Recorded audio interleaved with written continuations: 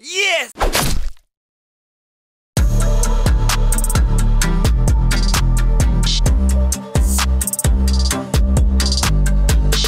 Hey, what's up guys? Harley here, welcome back to the channel. Just got a couple of questions uh, from the Tubolito versus AliExpress Ride Now vids, just about where to get them, which vendors are the best, um, how did I get them at the price I got them, and another big one was how do you actually repair them? Um, is it a normal everyday patch kit or is there a special one for Ride Now? Can you use the same one as Tubolito? All of those things. So we're going to answer that in this. Uh, I'll give you a run through and uh, yeah, hopefully this answers some questions and clears a few things up for you. Cheers. Okay, well this is the aliexpress.com website. If you've seen the previous videos, it's the same one I've been speaking about. Just wanted to give everyone a quick run through. When looking up the Ride Nows, okay, you've got to put Ride Now Tube. If you put anything else in, it just won't show up. Now, again, all these guys are different sellers. Okay, you can see down here the name, Chengi Riding Store. This guy's got a number store. Light Pro Carbon Store, blah, blah, blah. They, they, and they change all the time. It's a, it's a changing um, setup here with, with these Chinese vendors. So each time you get on, you're gonna find there's gonna be different prices. Now, I just found this guy here. He's got the Ride Nows for $4.21, shipping's $3.25. So using my you know, Harley maths, what's that? 750 a tube, which I bought 20 of them and got them for $11. So this guy's even cheaper. Now he's got 192 available, so I'm actually gonna buy some right now.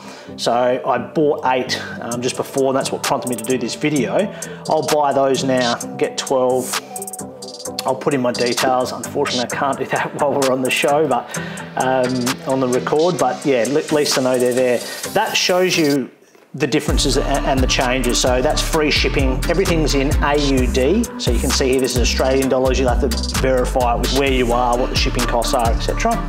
But this gives you an understanding of it. Hey guys, while I've got you, please remember to like and subscribe to the channel. It really helps me out and gets it out to other people that may be looking for this sort of info. Um, yeah, I really appreciate it. Thanks. The other one, which is it's quite hard to find, but some of the vendors will actually include it as a package deal. Since I've put these videos out, and there's a number of other guys doing them too, which are much bigger channels than myself, this has all changed. I've got to say, it's um, they're obviously onto something, and everyone else is looking at, at it and um, trying to get um, they're trying to get as much money as they can out of it. But what I found with this particular vendor, and his name is Air Rider Space Store. Um, if you click on his actual details here, one of his packages is for $3, he's got the actual TPU, tubes, the glue, everything you need to repair it um, in the matching pink, which is the same color as they've got on the ride now. So watch out for that because there'll be more and more guys actually selling them as a separate item, but I've just had a good look for them because I saw them come up and I wanted to find out where they were. I've had to go into a guy who's way is overpriced compared to the other guy I just I just found, but one of his options is for three dollars you can buy the repair kit. So to get a three dollar repair kit, if it comes, I've just ordered some for myself just to test, and I'll show you this uh, when they come.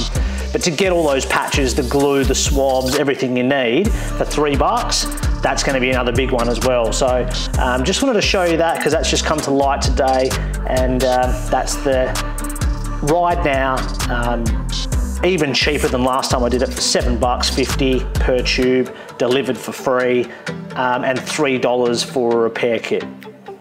Well, there you have it. That's how I shop for them. Um, a lot of my mates are using them at the moment. Uh, they take up half the size of a Tubolito in your saddlebag. That's something I forgot to mention before. These things are, are tiny. They're really well packed. Um, we, we managed to load four of them into a, a Ziploc um, canister case uh, for a drink bottle holder.